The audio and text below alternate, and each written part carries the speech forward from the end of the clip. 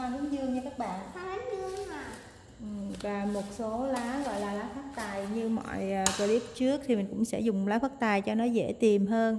Rồi bây giờ một cái lá phát tài như thế này thì các bạn sẽ cắt làm đôi và một số ít lá đôi chồn nha các bạn. Rồi các bạn à, cắt rồi các bạn tỉa giùm mình nhé. Đây ở đây thì à, các bạn tỉa lá thì các bạn sẽ để to ha chúng ta không cái bình này phải để to. Rồi cái lá như thế này các bạn cũng để to cho mình luôn nha mà các bạn sẽ cắt to hay nhỏ gì cũng được hết à nhọn đầu ha. Mẹ nhỏ hay to gì cũng được hết à không phải to con. To nhỏ gì cũng được hết à ừ. rồi cắt nhọn đầu xong rồi các bạn à, cắt cho mình à, cái à, gốc lá như thế này rồi đầu tiên mình sẽ cắm một cái lá phát tài ngay ở giữa của cái bình bông của chúng ta ngay chỗ này các bạn nhé. Nhưng mà các bạn cắm cái hình lá nó hơi xiên qua phía phía bên này nè các bạn. Đó, phía bên tay trái của chúng ta. Rồi tiếp theo thì các bạn à, sẽ dùng cái lá mà chúng ta, gốc của chúng ta cắt nhọn ở đây. Thì các bạn cắm ở dưới phía này, dưới ngay cái lá của, vừa rồi. Rồi tiếp theo thì à, các bạn cắm tiếp một cái lá mà chúng ta vừa chúng ta cắt chúng ta cắt mà có cái đầu nhọn của cái gốc á các bạn cắm xiên lên nhé cắm ở dưới cục xốp luôn chúng ta sẽ cắm xiên lên nè nó đi, đi lên một tí ha. Rồi. tiếp theo. Rồi tiếp theo mình à, sẽ cắm ngay giữa cục mút này một à, lá nha các bạn.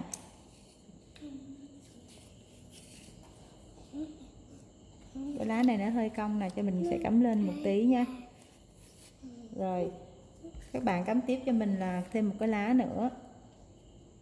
Nằm phía dưới lá này nha các bạn kế một bên luôn nha. Cho cái độ hơi nghiêng về phía đằng trước của chúng ta. Tiếp theo thì à, mình à, sẽ lấy một cái lá nhọn này. Mình à, sẽ cắm tiếp tục. Cho nó có độ hơi cong xuống phía dưới nha các bạn. Các bạn có có thể là thay đổi cái lá của tâm chúng ta lên như thế này cũng được hoặc là chúng ta làm như thế này cũng được nha. Tại cái phần này thì nó đã che đi rồi nên không có cần thiết lắm. Mình sẽ dùng thêm một cái lá nhỏ này nữa để chúng ta sẽ đệm ngay lúc này ha. Thì à, khi mà đệm thì các bạn nhớ cho cái lá nằm xuống dưới đi nhé. Cái, à, cái lá nằm xuống dưới rồi đó như là nhìn được hai lớp vậy nhé rồi tiếp theo mình sẽ cắm phía bên này. Rồi các bạn cắm cho mình ngay cục mút này chơi hai cái lá này nó, nó giáp lại với nhau thôi có cái độ hở luôn ha. Không cần không nhất thiết là phải cho nó che nha. Rồi quay qua chúng ta sẽ cắm một uh, cái lá mà lá nhỏ thẳng đứng như thế này nè các bạn nè. Đây các bạn sẽ cắm ngay ở đây cho mình nha.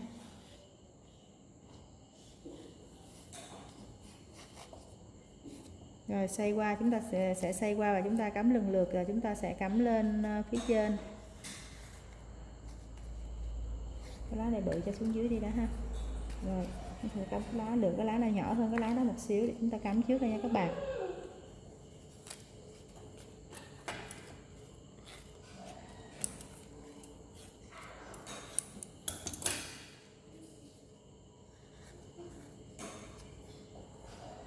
Đây, các bạn các bạn cắm gì cho mình nè. Rồi, có một cái lá là các bạn à, cái gốc này hơi to nè, mình à, sẽ gọt để cho nó nhỏ, nó cắm khỏi hư cục mút của chúng ta nhé.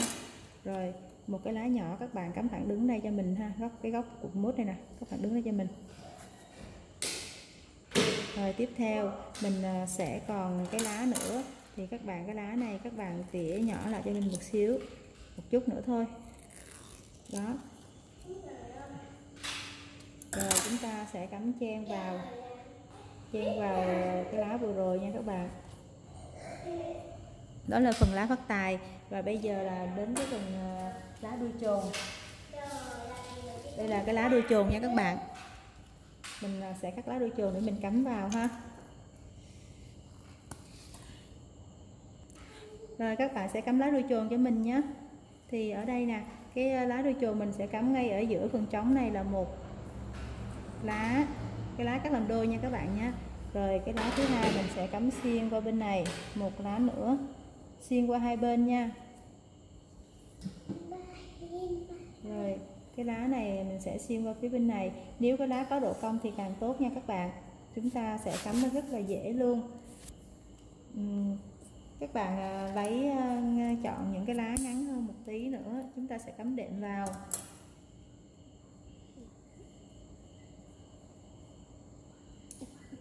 Chọn cái phần à, đuôi lá đó các bạn. Cái đuôi lá mà lúc nãy chúng ta cắt nó còn dư đó. Đây là những cái à, gốc lá như thế này nè. Mình à, sẽ ngắt bớt cái phần này đi và chúng ta sẽ cắt và đệm vào những cái chỗ trống này nè các bạn.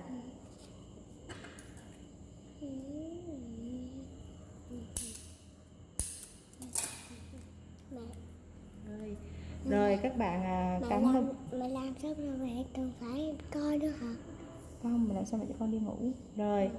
Cắm qua bên này nha các bạn nha nếu ờ, không có dày lắm ha. Rồi xong. Xong đó là cái phần lá nha các bạn. Giờ đến phần mình sẽ cắm hoa. Mình ờ, sẽ chọn một cái hoa cúc nha các bạn. Một cái hoa cúc. Ừ, các bạn à, cắm ngay ở giữa cái phần mút này cho mình nha. Và các bạn cầm như vậy các bạn cắm vào thì hoa nó sẽ không có bị hư ha. Đây cắm vào cái phần mút đây cho hoa nó xòe ra khúc này luôn đây các bạn nha còn nếu không nếu các bạn muốn nhìn thấy lá thì các bạn có thể cắm lên trên một xíu. Đó hoa nó xòe ra như thế này. Rồi tiếp theo các bạn cắm cho mình một cái gành hoa hướng dương cắm phía trên. Nha các bạn nhé. Dương à. có một cái hoa hoa hoa đó vậy? Ừ. sao có một vậy? Không có hai à? Tiếp theo các bạn sẽ cắt thêm cho mình một cành hoa hướng dương nữa. Cành hoa hướng dương này mình mua chưa nở hết nha các bạn. Các bạn mua hướng dương nên mua cái hướng dương mà còn à, còn nhỏ á. mua loại hướng dương nhỏ đừng mua loại hướng dương to quá nha các bạn. Đây mình sẽ cắm vòng qua là hướng bên này của hoa. Rồi tiếp theo một cái nữa ha. Các bạn nên à, bỏ lá cho mình nhé. Rồi các bạn cắm à, xoay qua cắm phía bên này các bạn à, nhìn cái độ cong của cái cái vòng này các bạn sẽ cho hoa chúng ta nó nó nó sẽ là quay về xuống dưới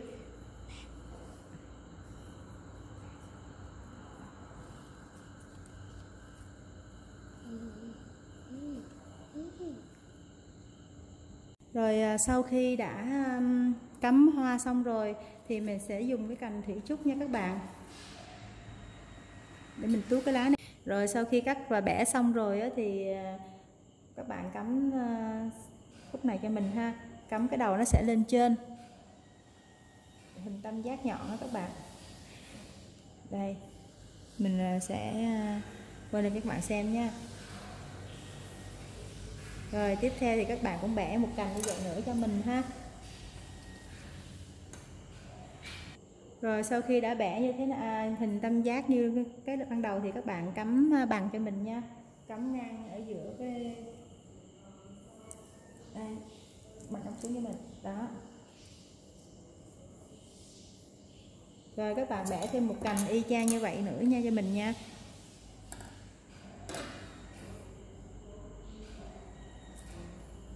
và chúng ta sẽ cắt nhé rồi sau khi bẻ cái cành này rồi thì các bạn sẽ cắm xiên nha. Cắm uh, cho mình là hơi xiên về phía bên phải một xíu. Như thế này nè các bạn nè.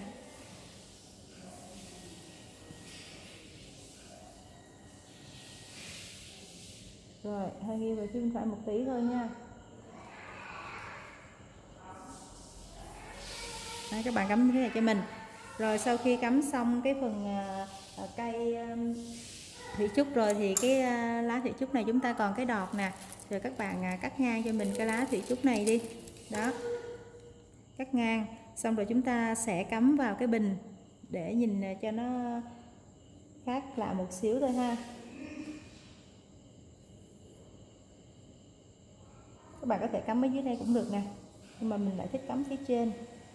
Rồi mình sẽ dùng thêm một cành nữa à, cái cành này là cành còn lại nha các bạn.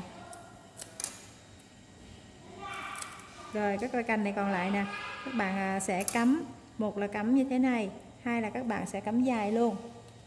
Cắm dài ra phía đằng lá luôn.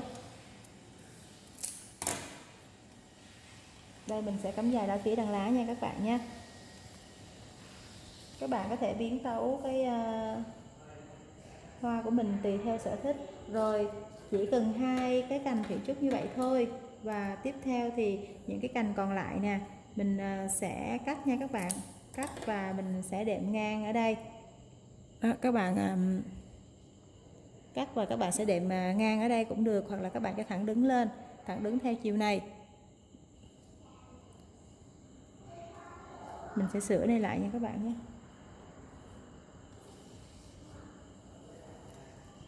Rồi cho vậy đi cho nó dễ hài hòa hơn. Rồi, còn cái cành này nè, các bạn có thích đó thì các bạn sẽ à, cho ra một cành như thế này nữa. Thì nhìn nó hơi bị thô. Cái như bạn lại thích à, những kiểu cứng cáp thì chúng ta sẽ à, cho hoa và cây nó cắm vào đây. Còn của mình như đó là đã xong rồi. Còn mình nếu thích thì các bạn có thể đệm thêm những cái hoa, ví dụ như là hoa cúc nhí hoặc là hoa thạch thảo hoa à, hoa thanh thảo hoa thạch à, anh nhé. Ở đây thì à, cái à, mình còn một số hoa cúc của cái bình trước nên à, mình sẽ đệm vào đây một ít hoa cúc một uh, ít hoa cúc nhí nha các bạn ha.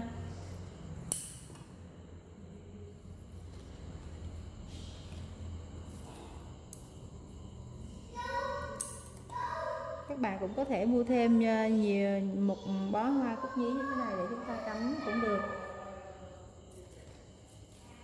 Mình thì chỉ còn có hai cành thôi, nên ờ, mình là sẽ đệm mà ít thôi.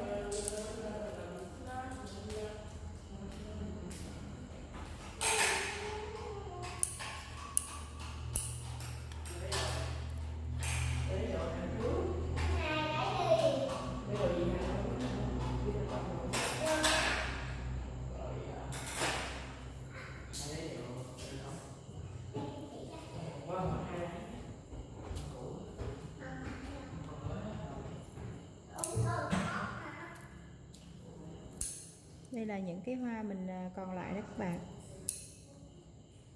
Các bạn cũng có thể đệm cái hoa màu trắng cũng được để cho nhìn nó nó, nó, nó nổi bật hơn. Ở đây hôm nay mình lại thích à, tông vàng nên mình làm luôn cả màu vàng luôn. Màu à, ngày Tết đó mà các bạn trưng cái hoa mà các sắc vàng như thế này thì rất là may mắn luôn nha.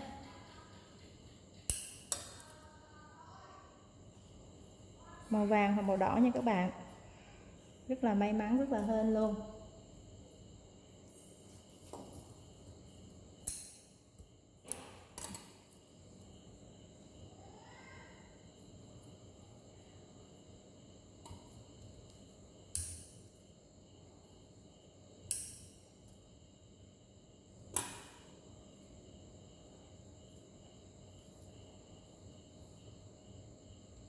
Đệm ít thôi đệm nhiều quá thì nó, nó nó sẽ xấu cái bình hoa đi.